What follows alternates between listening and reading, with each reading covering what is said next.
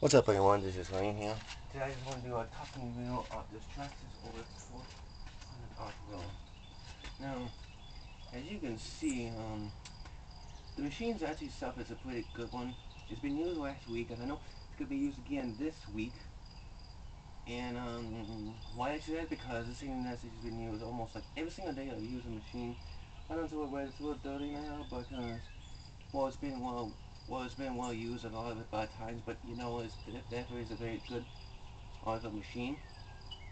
And this definitely is a very good purchase. But the one thing that actually really something with this is use that this machine is much more often than you can see. But um, it's pretty much what you expected. I mean, you got pretty much anything else that you believe me, but it's just how it is on this Tracker OX 400 off-road.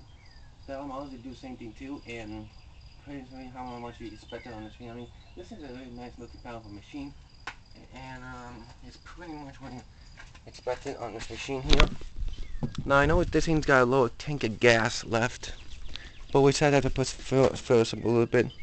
It's underneath the seat, but pretty nice powerful machine in my opinion.